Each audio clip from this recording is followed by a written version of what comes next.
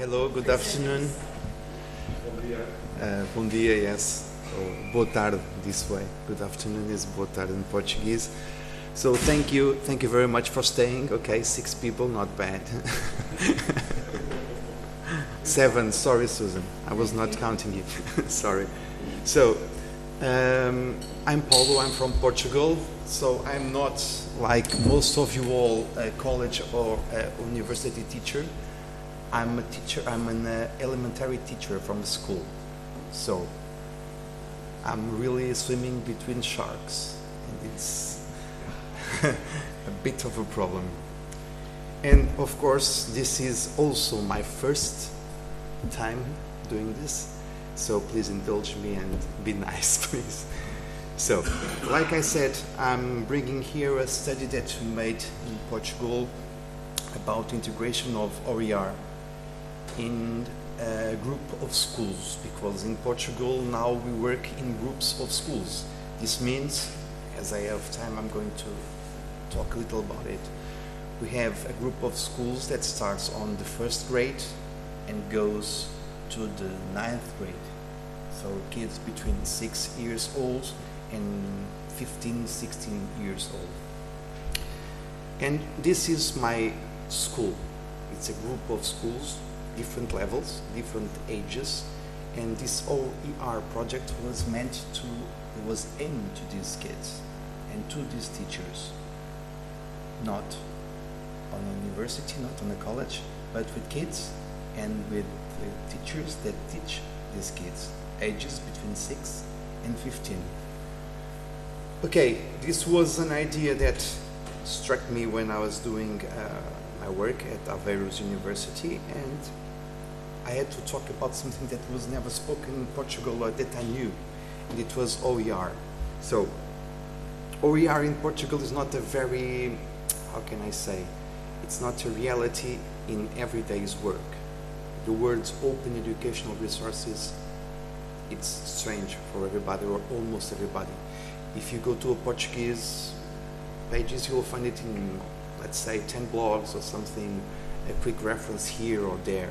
I was talking to Susan about that, and she's probably going to move to Portugal next year, so so basically, I'm trying to, I was trying to do a thing that was starting with the kids, starting from down, going up and reach the universities. The movement, on the contrary, that you are doing everywhere else in the world, I think. So, ICT reality in Portugal, as it's, it's very different now. In the last two years, it changed a lot, but these, these were the data I had when I started the study. So technology was insufficient and outdated computers, reduced allocation of support equipment like video projectors, interactive boards. The internet access was uh, very reduced and very limited coverage. Local areas networks at school were inefficient or uninstructed. Most important, the content. There was a shortage production of digital content and pedagogical applications. Collaborative platforms were very limited, very limited, and they were also very closed. Commun communication using email or was not used at schools. And it was very reduced and the channel of information exchange was not very good. Training. There was very little teacher training about ICT and use it in education. Teachers have very limited skills on using ICT and of course there's the absence of a certification uh, and with the acceptation of skills recognition. So, what could we do and where could we go from here? That was the, the big question and that was the thing that made me put like that guy over there, net, thinking, thinking, and what could you do? I thought, well, I can do this in the university with my colleagues, but I can do it with kids and teacher in the field. Okay, let's go to the field. So, this is nothing new for you. Open education resources, we got them. We got the definition, we got what they include, we got the four R's reuse, rework, remix, and redistribute. For you, of course, this is not new, but for us, this is all new. And of course, learning objects, free software, open source software, learning object repositories, these words are not common in the national Portuguese system. So, we thought and we read a lot about Linux, Apache, and Mozilla, and we got the open educational resources and the following question was, could it be possible to promote the creation, use, and disclosure of open education resources in a group of elementary and secondary schools? At the same time, engaging teachers and students from different schools and from different learning levels. That was the question. This was the project. And this is the project I'm going to to present here. So, the problem situation was a reduced number of digital resources produced by teachers and students, a lack of sharing, a lack of a sharing spirit towards learning and teaching self-made materials. There was little interest and motivation in the creation of educational resources in a digital format, a lack of a digital culture and creation of sharing of educational resources and use of ICT in classroom. Our aims and our goals were the creation of an education community of local teachers, and this is important, local teachers and students that promote collaborative development of OER and its provision for free. The idea was starting locally and then spreading, spreading the word, spreading the project, and reaching more teachers and more students by regions, for example. So, the aims were integrating OER in the teaching and learning model, model in basic education schools, as we say there. Promote communicability between different schools of the same learning level. This means schools do not communicate because I, I teach in a, it's, a, it's the second higher point in Portugal. It's called Caramulo. It's a mountain, and our schools, our primary schools, they are far away from each other. So people must use ICT to communicate. Use of open source software and Web 2, Web 2 tools. And make communicability, it's difficult this word, between different learning levels. We wanted people, that, that students and teachers from the fifth grade and the sixth grade, made some resources and shared them from the, with the students of the seventh and eighth. The expected result is, results were the creation by teachers and students of OER, not REA, OER in different formats. To encourage a greater commitment, motivation and interest in both the act of teaching as well the act of learning we thought that by using OER, by using ICT, we could motivate and interest people in the act of teaching. Because there's a big lack of these things in Portugal now. Developing students a spirit of collaborative learning in an investigative and shared way. This is very important. We would like and we wanted students to be collaborative, that they work together, they work in projects together and that they investigate and go together, finding things, knowing things, and searching things. Enhance an education and effective learning platform in making it available in a free and open way. So we wanted to put all this in a platform. This was the idea. Increase the use and profitability of ICT and, and the internet in teaching, using collaboration, sharing as a way of learning. Internet in teaching is well. We're just starting. We're just giving the first steps now, and it's being a kind of a challenge to put teachers using it in every, class, every classroom. Develop the need for research and development of alternative scenarios, technological resources of learning from REA. Implement the greater use of free software, because people didn't know the difference between free software, uh, free libre open software, between shareware, freeware, they didn't know what was that. promote an increase of digital literacy in the community along with greater use of the internet as an education tool. In this research, we use, uh, we thought, we thought that teachers should be, should be a teacher researcher. So we should use reflective thinking and re reflective practices towards knowledge. The teachers will generate hypotheses while they investigate and which they test. This was a process made by all teachers involved in the project. We started with a small group, 12 teachers, and we ended with all 58 teachers at all schools. So the methodology we, we thought was the best, it was the action research methodology. Of course, because it is an activity undertaken cooperatively by groups aiming to transform and change a certain reality by practical and reflective action upon it. This was no doubt our, our keyword, action research. So planning, action, observing, and reflective thinking.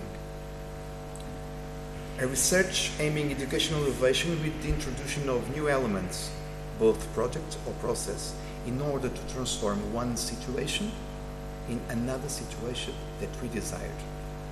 So, stages of our research was defining a problem, it was defined, defining a project, we did it, implementing it and monitoring, and finally evaluating it.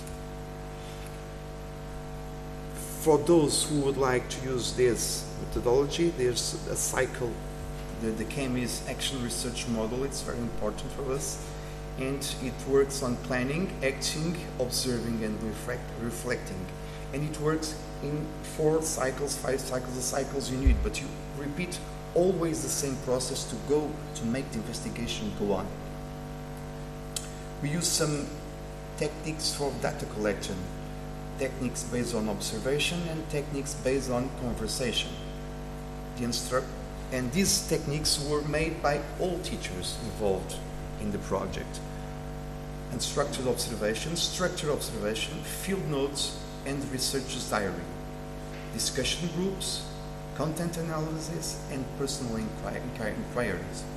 I must say that, that discussion groups were no doubt, no doubt the most important, most important tool that we had in our work.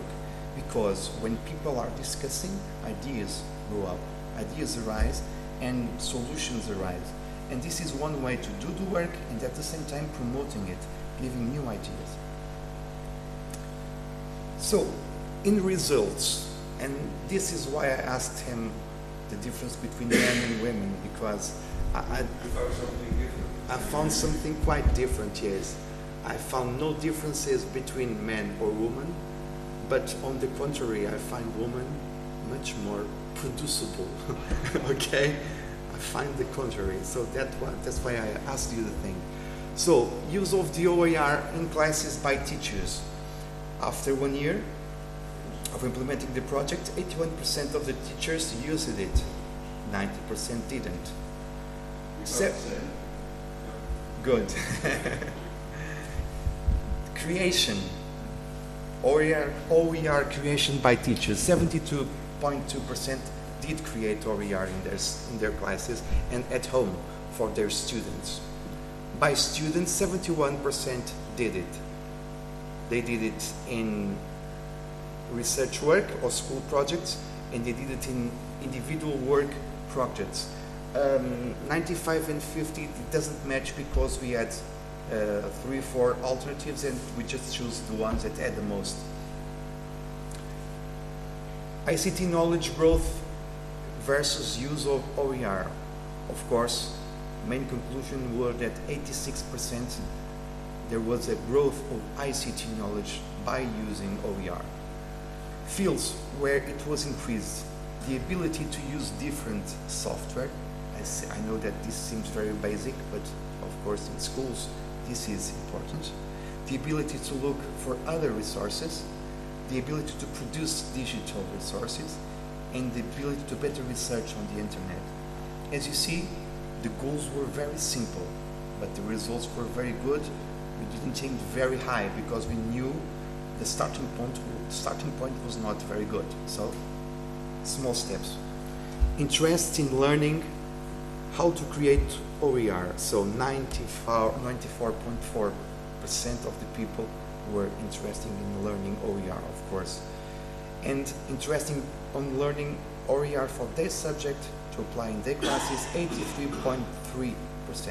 So this means that people just, they want to know, they want to learn, but they don't know how to do it, they don't know how they can do it, and no one gives them the chance to do it. That's the big problem.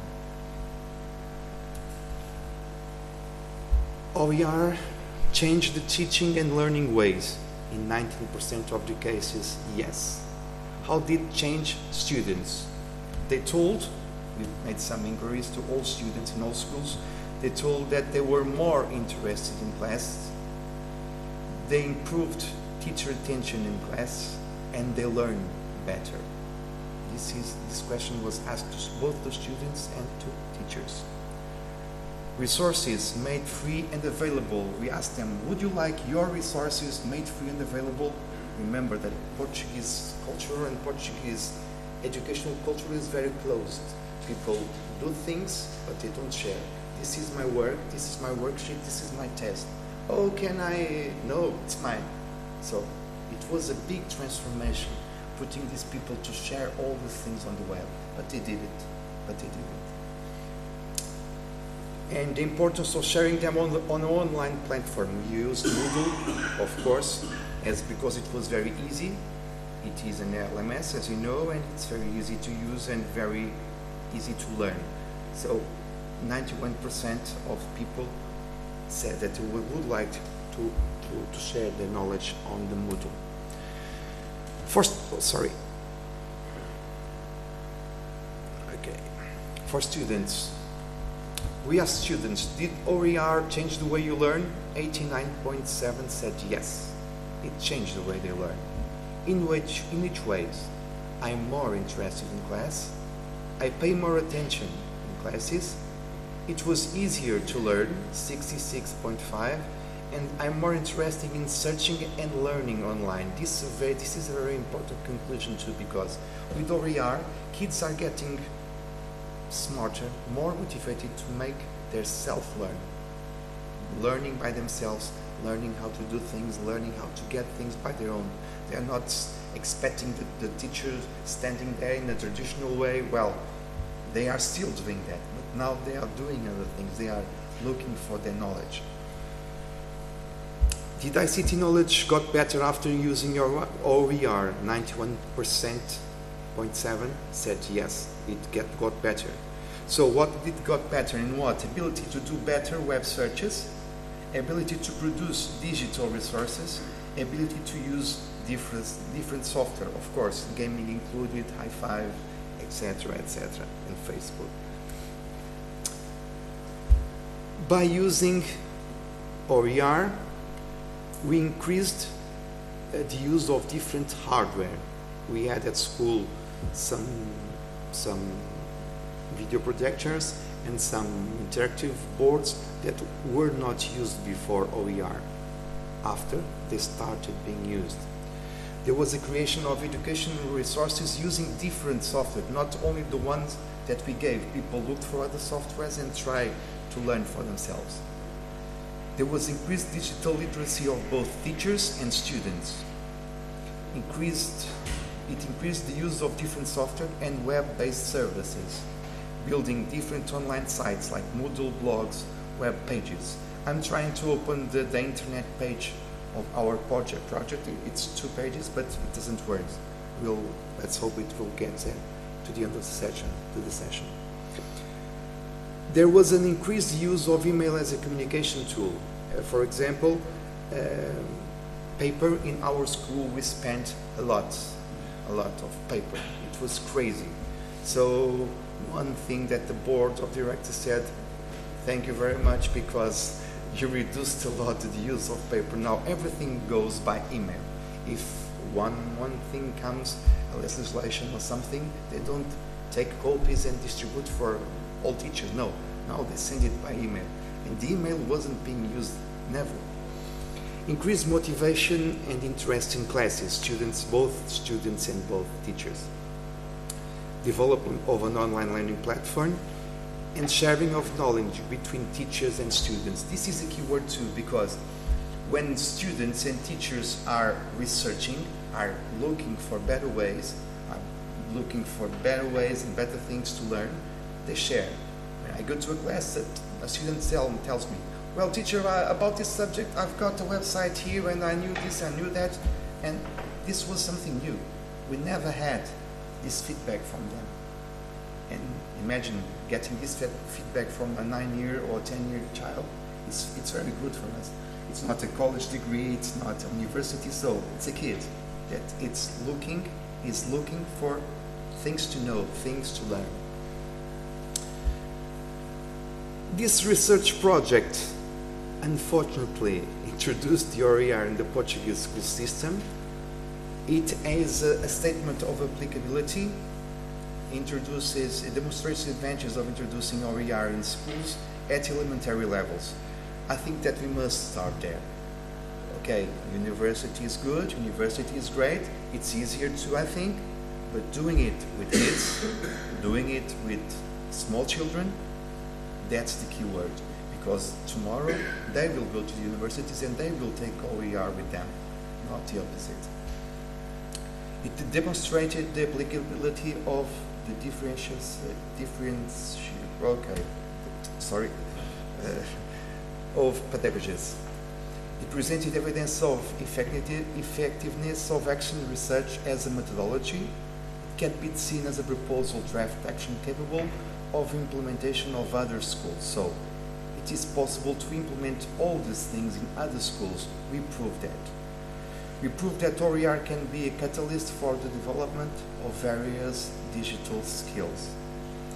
It became a kind of a manual of applicability, opening doors to other schools and other educational opportunities. We think we have successfully implemented a learning model based on OER. So, ideas and goals for the future. So, learn digitally, there goes the mouse, and extend implementation of projects based on OER to other schools of different learning levels, starting down going up the stairs to promote the implementation of OER projects in Portuguese universities. I don't know if there are some. Okay, they are in the north, but they don't share. We don't know them. We don't know them. The adoption of OER as a standard in Portuguese national school system. What should we do for this to happen? Well, shout this is the only thing to do because people don't hear. Uh, I was talking to Susan there. Susan told me that um, politicians in Portugal speak very well, but well, they, they speak very well, but they don't listen and they don't do very, they do very little. What can we do? How can we do it? We can do it only by giving hands, by using the digital learning and working in a cooperative way. Now I did it. Where can we go?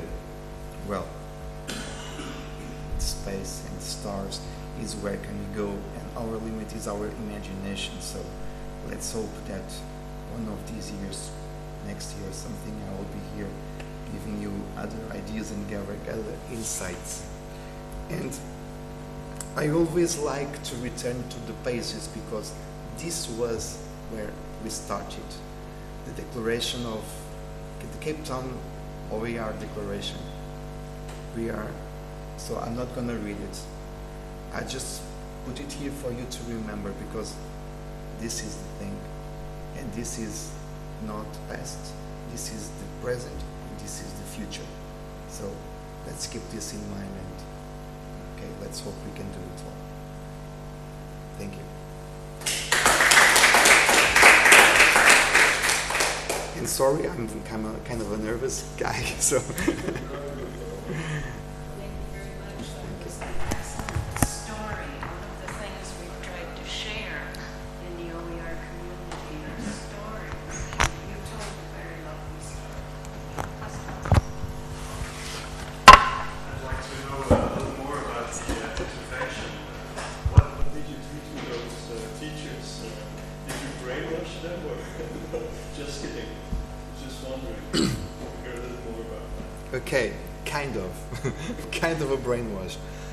It was.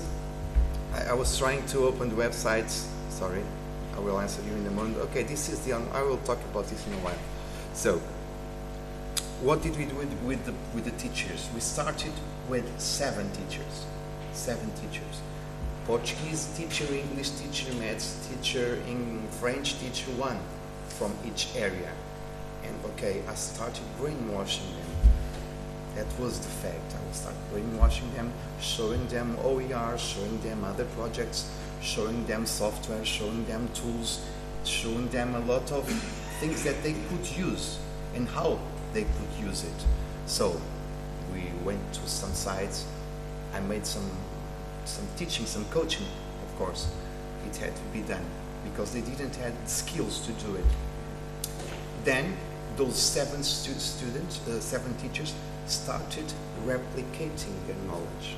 So during the year, in their meetings, in their informal reunions, when they sometimes they were having lunch and they were saying, "Well, I got a new thing on the web. Well, I will send it to you by email. What is your email by fact?" So one of the things I had to do in the project was to create a, um, a a an email service based on the school system. So picking the first and last person's name and putting at uh, minhaescola.net so everybody knew everybody's email. And that was a great idea because every student knows every teacher's email.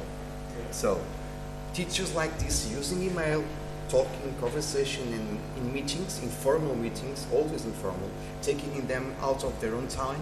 Okay, to get to, today, do you can can we meet together at five o'clock? Oh, today, okay, tomorrow. Okay, tomorrow, let's go. And it was kind of um, a mission. But of course, if they didn't help, it's their merit, not mine. They opened their mind to it. And they replicated their knowledges to each other. And it worked, in fact. But it was a very group, a very kind, a very special group of teachers to do this. Of course. It is needed. Yes. In the United States, states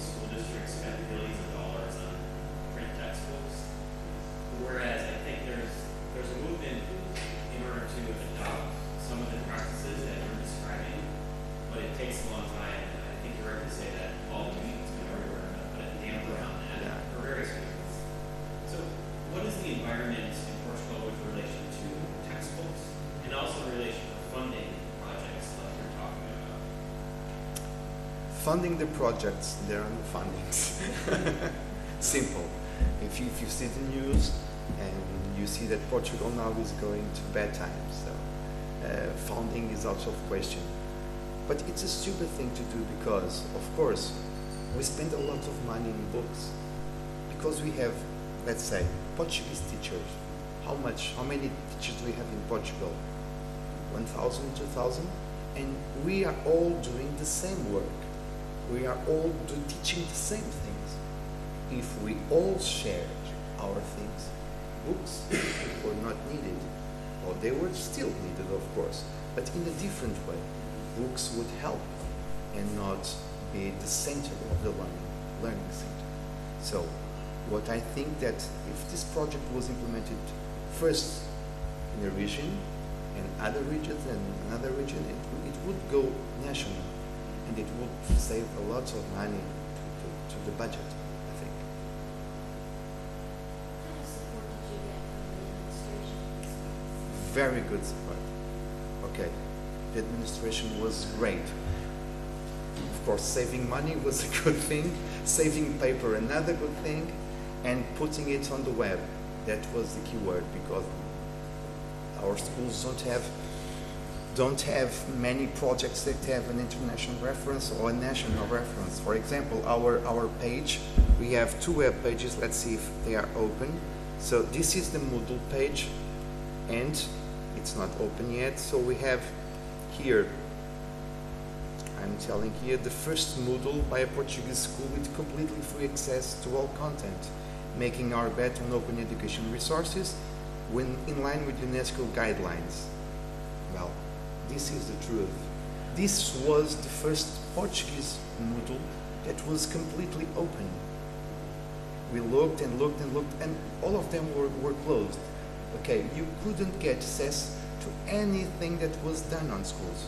So I, I would, would like to show you, for example, if I go here and click on the Portuguese class, on the Portuguese subject, you will see a lot of resources made by students and made by teachers.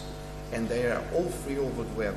We, we got, we get almost uh, 105,000 uh, web persons coming to our pages or to our Moodle pages every month.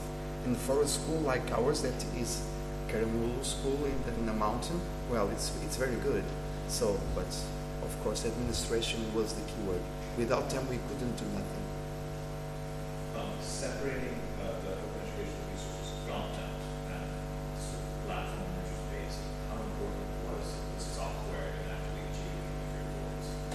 The software. Yeah. Well, in our goals, as you see, I'm using Microsoft software. It's not a good thing here, I know, but well. of course, why do you use, first, why do you use Microsoft software? Because Portuguese government has an agreement with Microsoft. They put Microsoft software at schools, at school computers, and they sell the government sells computers to teachers like this one. This one is a school computer, so it has Microsoft software. We make our, made our bet in free software. It was a notion that people didn't knew what was free software, and it was very important because people got an alternative to paid products and to pirate products. Okay, of course, we, we had to do a lot of research, but when we doing it about three, four months, people was getting, I found some software to treat image, I found some software to do this, I found some software to do that, and we only used free software. That was one of the bases of the project. Except Microsoft software, because people were used to using it every day. So if we would install the open office in every computer at school, that would be a revolution and teachers would kill me. So I took that out, out of my mind. There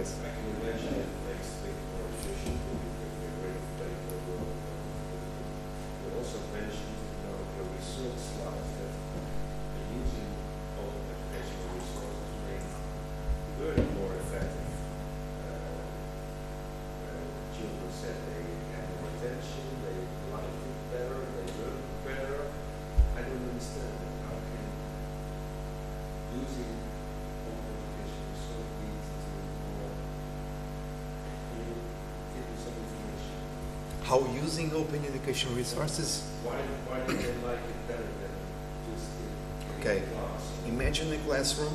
Let's do let's let's do an exercise. Imagine a classroom where you still teach and you- you still learn in a traditional way.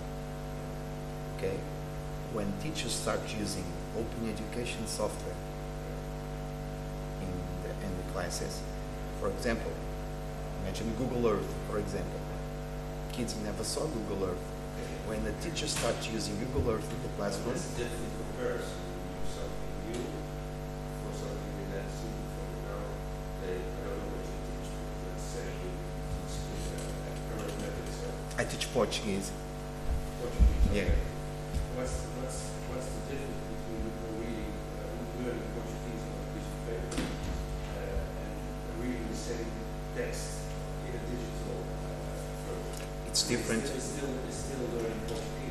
kids are used to books.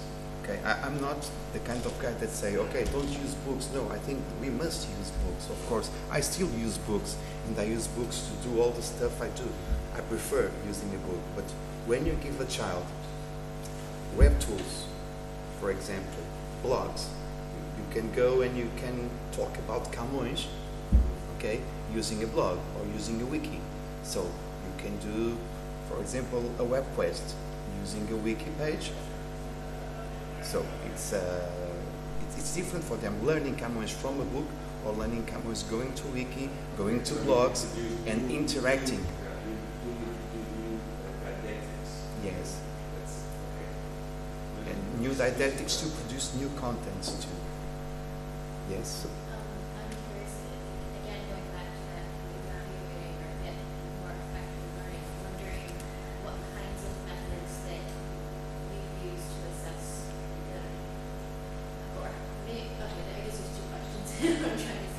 Let me just put this.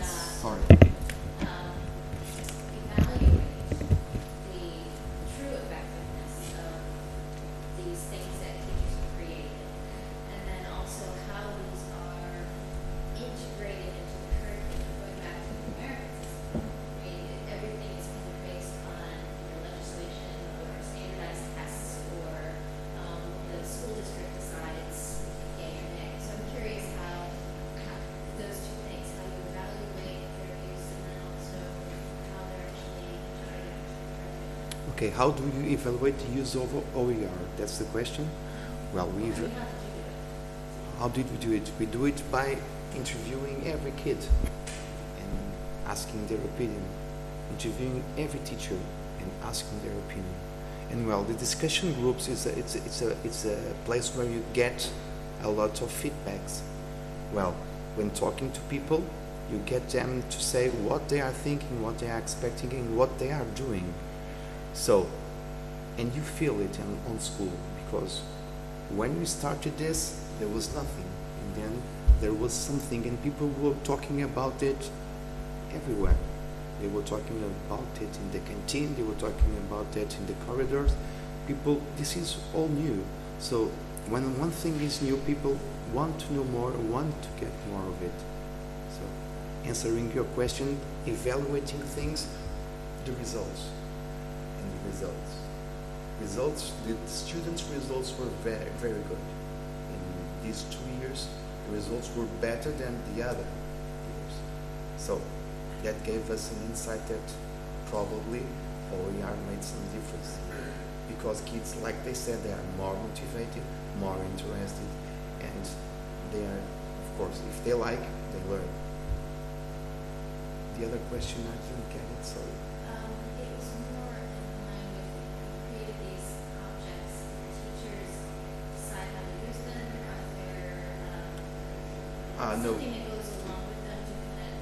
Every, every teacher is independent okay? There's no control.